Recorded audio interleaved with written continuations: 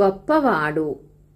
ధవళవరం గ్రామంలో ఆస్తిపరులైన రైతుల్లో నరసయ్య ఒకడు. ఆయనకు పరమేశం ఒక్కగానొక్క కొడుకు.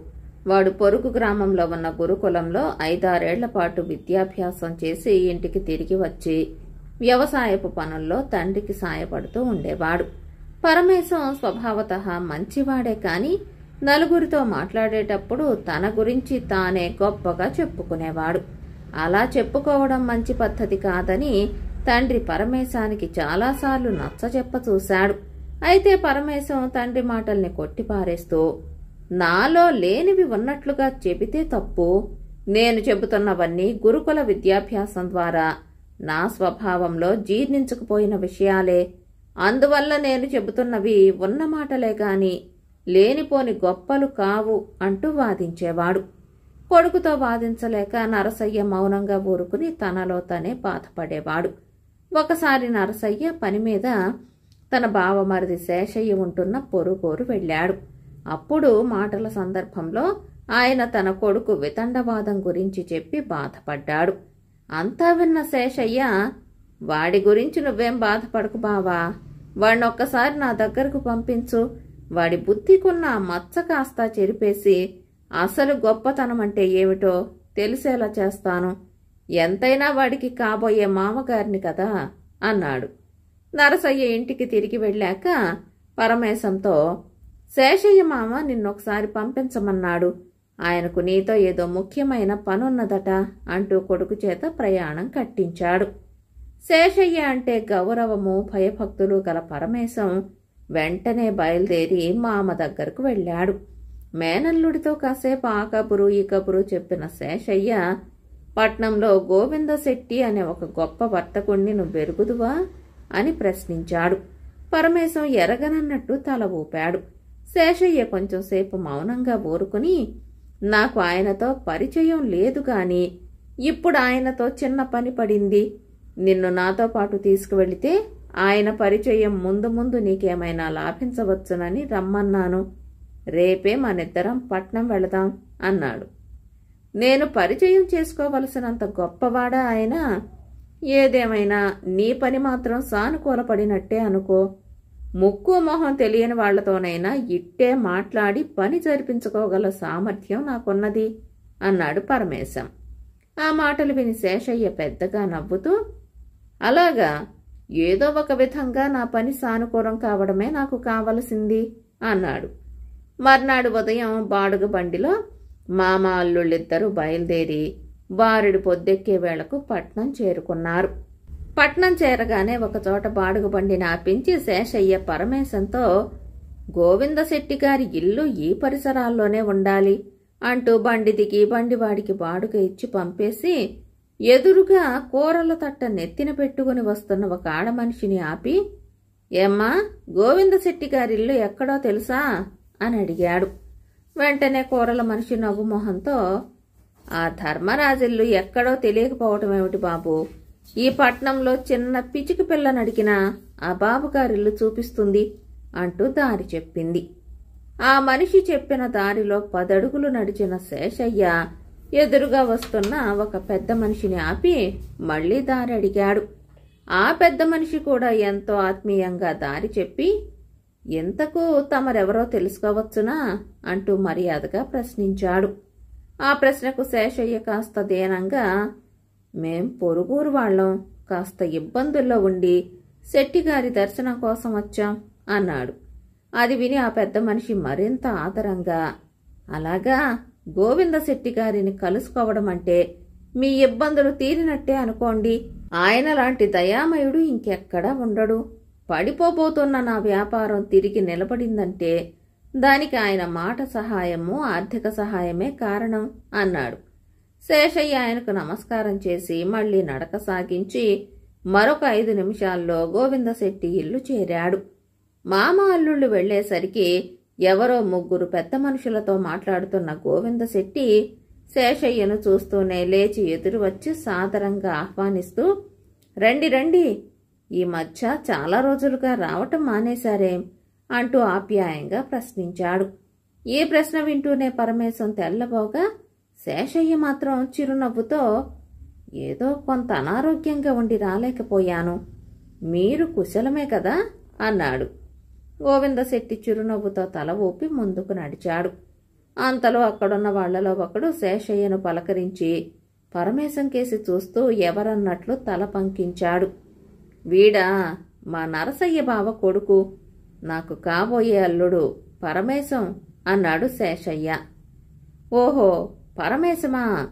మా అబ్బాయి గురుకులంలో చదివే రోజుల్లో మీ వాణ్ణి బాగా ఎరుగునులేండి. చుట్టుపక్కల పదామడల దూరంలో ఉన్న గొప్ప వాళ్ళందరికంటే గొప్పవాణ్ణని మాట్లాడేస్తూ ఉంటాడట. ఆ లెక్కన మన శెట్టిగారి కంటే గొప్పవాడట కదా మీ అల్లుడు. అంటూ ఆయన వెటకారంగా నవ్వాడు. ఎక్కడా దాపరికం లేని ఆ వెటకారం పరమేశం మనసుకు చుర్రున వాత పెట్టినట్టే అనిపించింది. భోజనాల వేళ కాగానే మామ అల్లుళ్ళిద్దరూ శెట్టి సహపంక్తిన విందు భోజనం చేశారు. కొంతసేపు విశ్రాంతి తీసుకున్న తర్వాత శెట్టి దగ్గర సెలవు తీసుకుని తిరుగు ప్రయాణం అయ్యారు. తిరుగు ప్రయాణంలో పరమేశం గంభీరంగా ఉండటం గమనించిన శేషయ్య మృదువుగా నవ్వుతూ ఏరా మనం వెళ్ళిన పని సానుకూల పడినట్టేనా? అని ప్రశ్నించాడు. దానికి జవాబుగా పరమేశం తల వంచుకుంటూ నువ్వు తలపెట్టిన పని బ్రహ్మాండంగా సానుకూల పడింది మామయ్య అన్నాడు. శేషయ్య ఏమీ తెలియనట్టు నటిస్తూ ఆశ్చర్యంగా నేను తలపెట్టిన పనా? ఏమిట్రా అది? అని ప్రశ్నించాడు.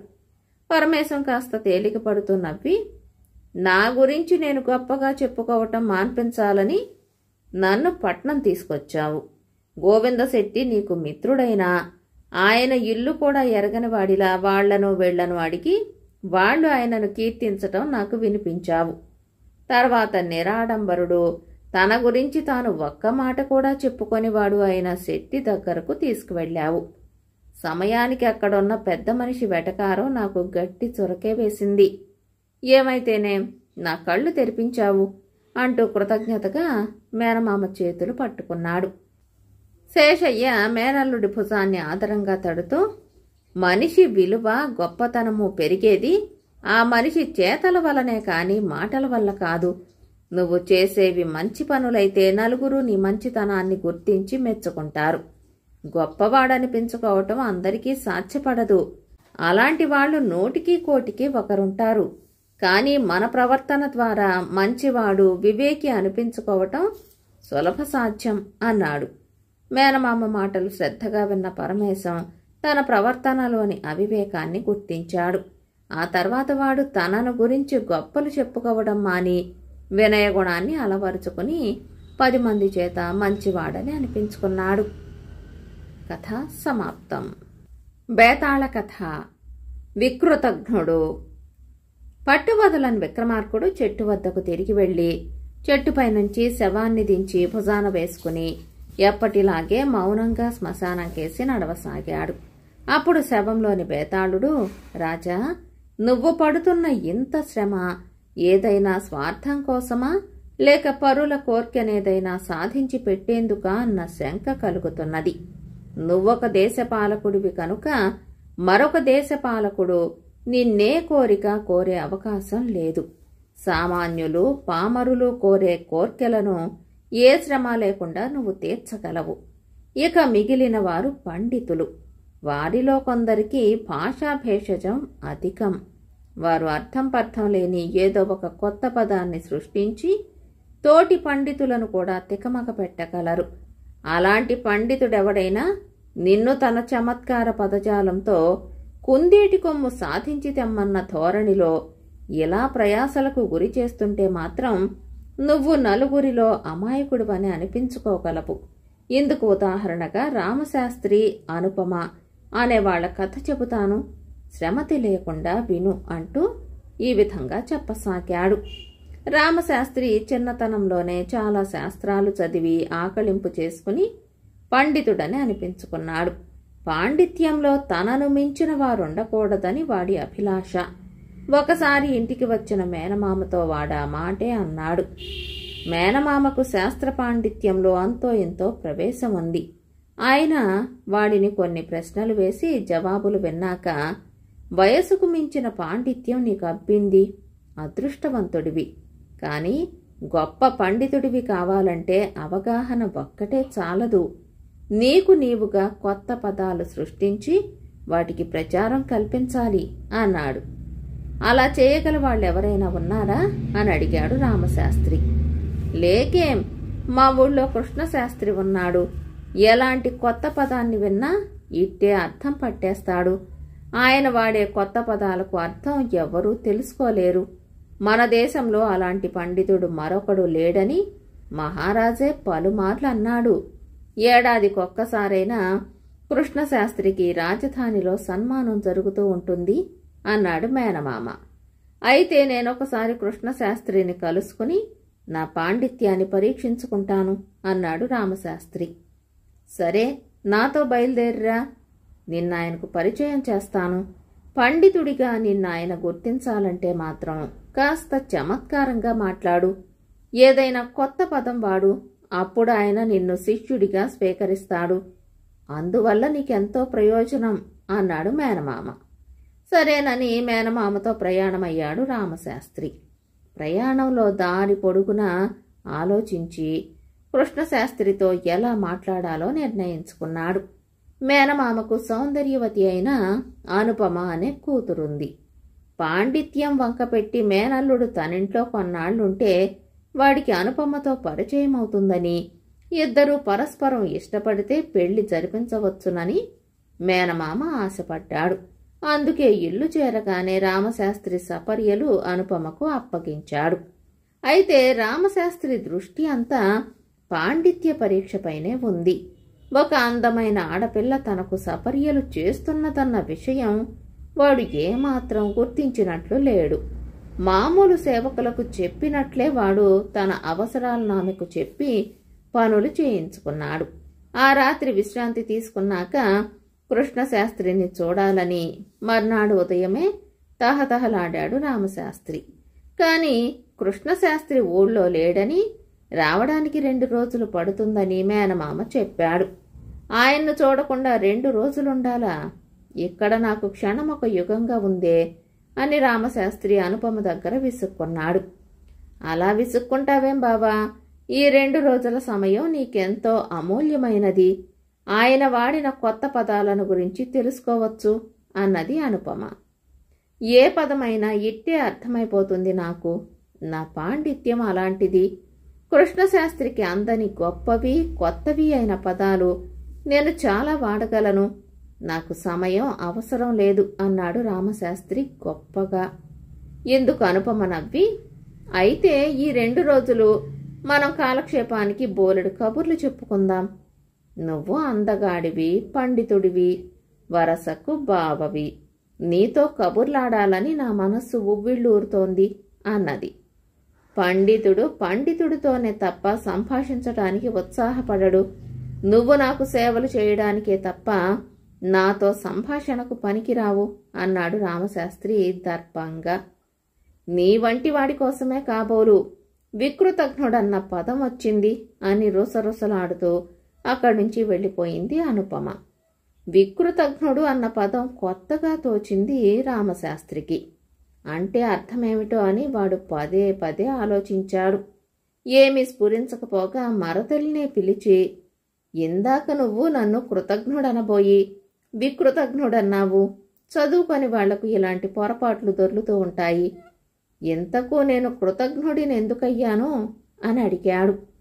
అనుపమ జవాబు చెప్పేందుకు ఒకటి రెండు క్షణాలాగి నువ్వు మా ఇంటికి రాగానే నీకు సేవలు ప్రారంభించాను. నా అంత అందగాడివి కాకపోయినా నీ అందాన్ని పొగిడాను. అందుకు కృతజ్ఞతగా నువ్వు నాకు చేసిందేమిటి? సేవలు చేస్తే చేయించుకున్నావు. నా అందాన్ని పొగడలేదు. నేను మరదలినని సంతోషించలేదు. నేనెంత చదువుకున్నానో నాకేం తెలుసో పరీక్షించకుండానే నేను సేవ చేయడానికి తప్ప పనికిరానని చెప్పి చిన్నబుచ్చావు. చేసిన మేలును గుర్తుంచుకునైనా నన్ను గౌరవించలేదు. నువ్వు వికృతజ్ఞుడివి అన్నది. అదుగో మళ్ళీ వికృతజ్ఞుడంటున్నావు. నాకు తెలిసి అలాంటి పదం లేదు. చేసిన మేలును మరిచిన వాణ్ణి కృతజ్ఞుడనాలి అన్నాడు రామశాస్త్రి. నిన్ను కృతజ్ఞుడంటే చాలదు. చిత్రానికి విచిత్రముంది జయానికి విజయముంది. అలాగే నీలాంటి వాళ్ళ కోసం వికృతజ్ఞుడన్న పదం సృష్టించాడు కృష్ణశాస్త్రి అన్నది అనుపమ. కృష్ణశాస్త్రి సృష్టించాడనగానే ఆ పదానికి అర్థమేమిటా అని తల బద్దలయ్యేలా ఆలోచించాడు రామశాస్త్రి. ఎంతకు స్ఫురించకపోగా చివరకు మారుతల్నే పిలిచి అర్థం చెప్పమని అడిగాడు. మహాపండితుడివి ఈ మాత్రం తెలుసుకోలేవా? ఆ పదాన్ని నీ మీదే ప్రయోగించాను. కాని ఎంతటి పండితులైనా తమను గురించి తాము తెలుసుకోలేరని ఉపనిషత్తులు చెబుతున్నాయి. కాబట్టి నీకు విరూపుడి గురించి చెబుతాను. వాడినుద్దేశించే కృష్ణశాస్త్రి ఈ పదాన్ని వాడాడు అంటూ అనుపమ ఇలా చెప్పింది. విరూపుడా గ్రామంలో పేద రైతు. ఒకసారి చవగ్గా పొలం అమ్మకానికి వస్తే కొందామని అనుకున్నాడు. డబ్బు లేదు. పొరుగింటి పుల్లయ్య అప్పిచ్చి సాయం చేశాడు. ఆ తర్వాత విరూపుడికి పొలంలో నిధి దొరికింది. వెంటనే పుల్లయ్య బాకీ తీర్చేశాడు. అప్పుడే పుల్లయ్య కూతురుకు పెళ్ళి కుదిరింది. మరికొంత డబ్బు అప్పివ్వమన్నాడు పుల్లయ్య. విరూపుడు తల అడ్డంగా ఊపి పేదవాళ్ళకు అప్పివ్వకూడదు. పేదవాళ్ళు కూడా ఉన్నంతలో సరిపెట్టుకోవాలి తప్ప అప్పులు చేయకూడదు అని వచ్చేశాడు. ఇంకోసారి విరూపుడు పొలంలో ఉండగా పాము కరిచింది. పక్క పొలం వాడైన శరభయ్య వాడిని వెంటనే పొసం మీద ఎత్తుకుని మంత్రగాడి దగ్గరకు తీసుకువెళ్ళాడు. సమయానికి రాకపోతే విరూపుడి ప్రాణాలు దక్కేవి కాదని మంత్రగాడన్నాడు. ఆ మర్నాడే శరభయ్యను దొడ్లో పాము కరిచింది. సమయానికి అటుగా వెళుతున్న విరూపుడికి ఆ విషయం తెలిసింది. వాడు ఆ క్షణంలో శరభయ్యను ఎత్తుకుని మోసే ఓపిక లేదన్నాడు. పరుగున వెళ్ళి మంత్రగాడికి కబురు చెప్పమంటే నేను దక్షిణ దిశగా పని మీద వెళ్తున్నాను. మంత్రగాడిల్లు ఉత్తర దిశలో ఉంది. కాబట్టి వీలు కాదు అన్నాడు. పోనీ క్షణం పాటు శరభయ్యకు కాపలా ఉంటే తానే వెళ్ళి మంత్రగాడిని పిలుచుకొస్తానంది శరభయ్య భార్య. తనకు అవసరమైన పని ఉన్నదంటూ వెళ్ళిపోయాడు విరూపుడు. శరభయ్య అదృష్టం కొద్దీ అనుకోకుండా ఎవరో చెప్పగా మంత్రగాడు పరుగు పరుగున రావడం వల్ల శరభయ్య ప్రాణాలు దక్కాయి. విరూపుడి గురించిన ఈ రెండు కథలు విని రామశాస్త్రి నిస్సందేహంగా విరూపుడి కోసమే కృతజ్ఞుడన్న పదం పుట్టింది అన్నాడు. కృతజ్ఞుడు కాదు వికృతజ్ఞుడు అన్నది అనుపమ. వికృతజ్ఞుడంటే అర్థం లేదు. చేసిన మేలును మరిచిపోవడం కృతజ్ఞత. అందులో తరతమ భేదాలు లేవు. కృతజ్ఞులందరూ ఒకటే అన్నాడు రామశాస్త్రి. నేను చెబితే నీకు అర్థం కాదు. ఒకసారి వెళ్ళి ఆ విరూపుణ్ణి కలుసుకునిరా అన్నది అనుపమ. రామశాస్త్రి ఊళ్ళోకి వెళ్ళాడు. విరూపుడి ఇల్లు ఎక్కడున్నది అడిగి తెలుసుకుందామనుకునేంతలో వీధి పక్కన ఇద్దరు మనుషులు గొడవ పడుతున్నారు. వారిలో ఒకడు ఆరడుగుల ఎత్తు వస్తాదులా ఉన్నాడు. ఇంకొకడు పొట్టిగా బక్కగా ఉన్నాడు. వస్తాదు పొట్టివాణ్ణి కొట్టబోతుంటే ఎవ్వరూ పట్టించుకోవడం లేదు. అప్పుడు రామశాస్త్రి కలగజేసుకుని వాళ్ళను కారణం అడిగాడు వస్తాదు రామశాస్త్రితో అయ్యా వీడు నదిలో కొట్టుకుపోతుంటే ఊళ్ళో ఒక్కరూ రక్షించలేదు. నేను ప్రాణాలకు తెగించి ఎదురీది వీడిని రక్షించాను. ఇది జరిగి రెండు రోజులయ్యింది. ఇవాళ దారిలో ఎదురుపడితే ఒంట్లో ఎలా ఉందని పలకరించాను. నాకేసి అదోలా చూసి ఎవరు నువ్వని అడిగాడు? గుర్తు చేశాను. అసలు వీడికి నదిలో మునిగిన విషయమే గుర్తులేదట. నేనేమైనా వీడిని ఊళ్ళడిగానా ధనమడిగానా చేసిన మేలు గుర్తుంచుకుని ఒక్కసారి నవ్వుతూ పలకరిస్తే బదులిమ్మన్నాను. అందుకు వీడు నన్ను పరిహాసం చేస్తూ కండలు పెంచితే బుద్ధి నశిస్తుందంటారు. నీ విషయంలో అది నిజం. నువ్వు బుద్ధిహీనుడివి అన్నాడు. నేను బుద్ధిహీనుణ్ణే. లేకుంటే ఇలాంటి వాడికి సాయపడతానా? అయితే వీడికి బుద్ధి చెప్పడానికి నా బుద్ధి చాలు. అందుకే దేహశుద్ధి చేయాలనుకుంటున్నాను అన్నాడు. రామశాస్త్రికి పరిస్థితి అర్థమయ్యింది. ఆ పొట్టివాడే విరూపుడై ఉండాలని కూడా గ్రహించి వస్తాదుతో అయ్యా తమరికి బుద్ధిబలం కండబలం రెండు ఉన్నాయి. వాటిని ఇలాంటి వారి మీద వృధా చేయవద్దు. అయినా ఈ ప్రపంచంలో ఏది శాశ్వతం కాదు. అలాంటప్పుడు మొన్న చేసిన సాయంతో బంధాలు పెంచుకోవటం ఎందుకు? ఇతడు గొప్ప వేదాంతిలా నాకు తోస్తున్నది. ఇతడు చేసే ప్రతి పనిలోనూ ఏదో అర్థం ఉంటుంది. అది తెలుసుకుని నేను మీకు తర్వాత చెబుతాను. ప్రస్తుతానికి ఇతన్ని విడిచిపెట్టి వెళ్ళండి అన్నాడు. రామశాస్త్రి ముఖంలో తేజస్సు పలుకు తీరు చూసి వస్తాదు. విరూపుణ్ణి విడిచిపెట్టి వెళ్ళాడు. రామశాస్త్రి పొట్టివాడితో నువ్వు విరూపుడివి కదా? అన్నాడు. నువ్వు నా నుంచి ఏం ఆశిస్తున్నావో నాకు తెలియదు. నేనెవరో నీకు తెలిసినట్టే ఉంది. నువ్వెవరో నాకు తెలియదు. తెలుసుకోవాలని లేదు అని విరూపుడు అక్కడి నుంచి వెళ్ళిపోయాడు. రామశాస్త్రి నిట్టూర్చి వెనక్కు తిరిగి ఇల్లు చేరాడు. విరూపుణ్ణి చూసావా బావా? అని అడిగింది అనుపమ. చూశాను మాట్లాడాను కూడా అన్నాడు రామశాస్త్రి. తర్వాత వాడు జరిగినదంతా పోసగుచ్చినట్లు మరతలికి చెప్పి విరూపుణ్ణి తిట్టడానికి కృతజ్ఞుడన్న పదం చాలదు. అందుకే వికృతజ్ఞుడన్న పదాన్ని సృష్టించి ఉంటాడు కృష్ణశాస్త్రి. వి శబ్దం విశ్లేషించటాన్ని వికృత శబ్దం జుగుప్సను పలుకుతూ ఉండటం వల్ల ఈ శబ్దం మరింత నిందాబలాన్ని సమకూర్చుకున్నది. అవునా? అన్నాడు. శబ్దాడంబరం గురించి మాత్రంగానే తెలుసుకున్నావు. కానీ వికృతజ్ఞుడన్న పదానికి అర్థం మాత్రం నీకింకా తెలిసినట్లు లేదు అన్నది అనుపమ నవ్వుతూ. అంతలో అక్కడికి వచ్చిన మేనమామ రామశాస్త్రితో పాండిత్యంలో నువ్వు నీ మరదలి ముందు తీసికట్టేనని గ్రహించావనుకుంటాను. ఎందుకంటే కృష్ణశాస్త్రి అంటూ ఎవ్వరూ లేరు. నేను నిన్ను నీ మరదల్ని దగ్గర చేయటానికి కృష్ణశాస్త్రిని కల్పించాను అన్నాడు. ఇది వింటూనే రామశాస్త్రి నివ్వెరపోయి కొద్దిసేపు మౌనంగా ఉండి అనుపమతో వికృతజ్ఞుడన్న పేరును భరించలేను నన్ను మన్నించు అన్నాడు. బేతాళుడి కథ చెప్పి రాజా ఏ భాషకైనా అతిక్రమించరాని వ్యాకరణ సూత్రాలు నియమ నిబంధనలు ఉంటాయి. అంతగా పాండిత్యం లేకపోయినా మహాపండితుడని వెర్రవీగేవాణ్ణి విపండితుడని గాని లేక అతడిది విపాండిత్యం అని కానీ అనవచ్చునా?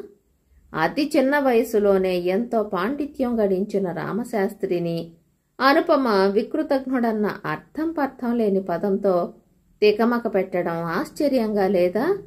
దీనికన్నా ఆశ్చర్యం కలిగించే మరొక విషయం. రామశాస్త్రి వికృతజ్ఞుడన్న పేరు భరించలేను క్షమించమని అనుపమను కోరడం. ఒకవేళ అనుపమ పాండిత్యంలో రామశాస్త్రిని మించినదై ఉంటుందా? ఈ సందేహాలకు సమాధానాలు తెలిసి కూడా చెప్పకపోయావో? నీ తల పగిలిపోతుంది అన్నాడు. దానికి విక్రమార్కుడు ఇందులో రామశాస్త్రి అనుపమల పాండిత్యాల హెచ్చుతగ్గుల గురించిన ప్రశ్నకు ఆస్కారమే లేదు. పండితుడు అందగాడు బావ అన్న ప్రేమానురాగాల కొద్దీ అనుపమ రామశాస్త్రికి సేవలు చేసింది. అతడదేమీ గుర్తించక ఎంతసేపు కృష్ణశాస్త్రి పాండిత్యంతో తన పాండిత్యాన్ని సరిపోల్చుకోవాలనుకుంటూ ఆమెపై విసుక్కున్నాడు. తన బావకు శాస్త్ర పాండిత్యమైతే ఉన్నది కానీ లౌకిక జ్ఞానం కొరవడిందని గ్రహించిన అనుపమ ఒక పథకం ప్రకారం అతన్ని విరూపుణ్ణి చూడపంపింది. విరూపుడి కృతజ్ఞత తెలుసుకుని కూడా రామశాస్త్రి తన లోపాన్ని గుర్తించలేకపోయాడు. అనుపమ దృష్టిలో కృతజ్ఞుడంటే చేసిన మేలును కొన్నాళ్ళకు మరిచిపోయేవాడని. వికృతజ్ఞుడంటే ఆ మరుక్షణమే మరిచిపోయేవాడని. అందుకే ఈ వింత పదాన్ని సృష్టించి రామశాస్త్రి మీద ప్రయోగించింది. కృష్ణశాస్త్రి అంటూ పండితుడెవడూ లేడని. తనెందుకు అతన్ని ఇంటికి తీసుకువచ్చింది మేనమామ చెప్పాక రామశాస్త్రికి మరదలి పట్ల తన కృతజ్ఞతారాహిత్య ప్రవర్తన అర్థమై ఆమెను క్షమించమని కోరాడు అన్నాడు. రాజుకి ఈ విధంగా మౌనభంగం కలగగానే బేతాళుడు శవంతో సహా మాయమై తిరిగి చెట్టెక్కాడు. కథ కంచికి మనమింటికి.